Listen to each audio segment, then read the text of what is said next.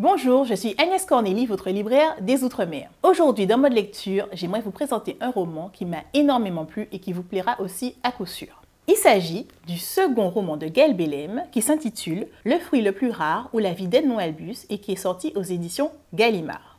Alors Gaël Bellem nous avait déjà enchanté avec son premier roman qui s'intitulait Un monstre et là derrière la porte et elle revient avec un livre dans lequel elle veut à la fois mêler l'histoire de la Réunion, donc depuis l'histoire de la colonisation et de l'esclavage, et aussi la vie d'Edmond Albus, donc qui est ce fameux esclave qui a découvert le procédé extraordinaire de pollinisation de la vanille.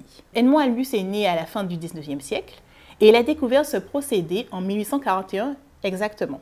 Pour écrire ce livre, Gaël Bellem a fait beaucoup de recherches historiques, donc on a beaucoup de détails historiques qui permettent vraiment d'ancrer le récit dans des faits réels et qui permettent aussi d'avoir l'idée de l'histoire de la Réunion et l'idée de la vie de, cet homme euh, absolument intelligent et magnifique. Je ne résiste pas à l'envie de vous lire l'extrait dans lequel il découvre le procédé. Edmond approche ses yeux plus près, encore plus près, d'une fleur. Il commence à comprendre. Sur la fleur de vanille, un obstacle naturel, comme une petite porte, le rostellum, sépare l'organe mâle de l'organe femelle.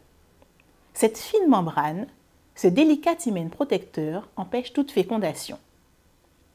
À l'aide d'un éclat de bambou, Edmond soulève cet opercule, ouvre la petite porte. Ce mince capuchon écarté, il met l'étamine, organe mâle rempli de pollen, au contact de l'organe femelle. La fleur de vanillé est fécondée. Cette fois est la bonne, il le sait. Il touche et déplace, soulève et dépose et le nez couvert de pollen, Edmond pousse un cri de savant. J'ai trouvé Alors si vous voulez vraiment découvrir la vie de cet homme extraordinaire, je vous conseille de lire Le fruit le plus rare ou la vie d'Edmond Albus de Gaël Bellem qui est sorti aux éditions Gallimard. Vous pouvez maintenant vous déconnecter et passer en mode lecture. À bientôt